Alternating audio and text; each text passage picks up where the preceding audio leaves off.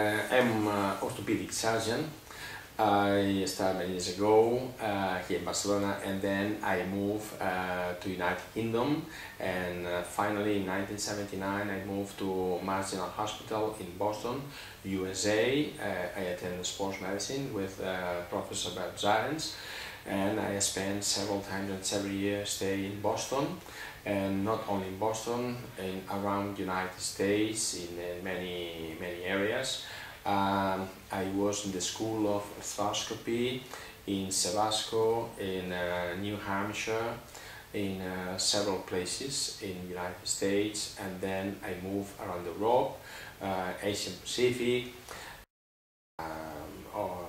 Australia, New Zealand, in uh, South America, Central America, in uh, many places around the world. Why? Because I like it, I like it, as sports medicine, I like all the pathology involved in the soccer player. And the most common is the knee problems, uh, the most difficult perhaps to treat, uh, the ligaments uh, as ACL and the PCL, posterolateral corner, uh, the medial collateral ligament, the meniscus and the cartilage, uh, all the pathology of the ankle and the muscle and tendon uh, because uh, I am working here in the Spanish Football Federation in Barcelona and we need uh, our under control we need, we need to treat a lot of a lot of lesions in the soccer players. And I had uh, many information a lot of a lot of things around the world I bring uh, with me here in Barcelona and uh, I continuous working, I developing uh, several techniques for treat the,